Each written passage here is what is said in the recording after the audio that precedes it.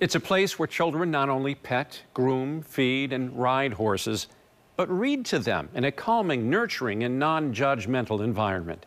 Michael Schlesinger highlights an equine program that's central to a unique center's mission of growing a humane community through youth education.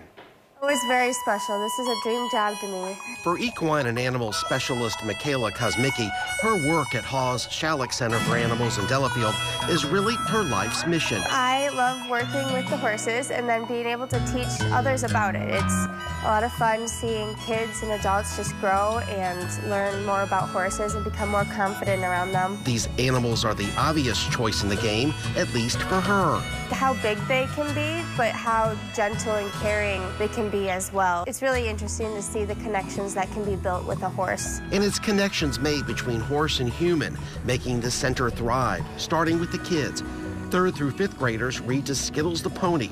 Those in sixth through ninth participate in the Explorers group.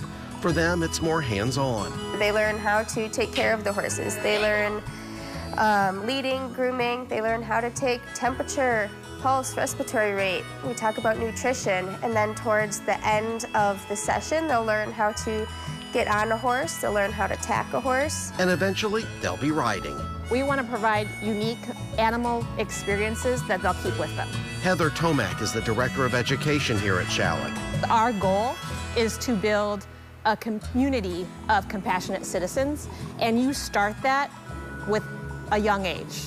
We do early childhood, so we do from three years old all the way up through high school, and the goal is to build upon first an appreciation, then an understanding, and then hopefully as they get into high school and to college, advocacy. Heather says this overall experience is really like none other for so many kids. So we've had um, inner city kids from Milwaukee come out and have experiences with these animals up close and personal, nose to nose to a horse. Um, eighth grade boys feeding our goats and they're giggling because the tongue is tickling their hand and they've never felt that before. She adds the land entrusted by Jane and Mike Schallock is the perfect space to learn whether it's for field trips or programs offered in general. This property is 77 acres to have the opportunity to incorporate environmental education, outdoor education, so that we have a larger picture of how an ecosystem and the health of an ecosystem then supports the animals that we care for here and at our shelter. No other place has that.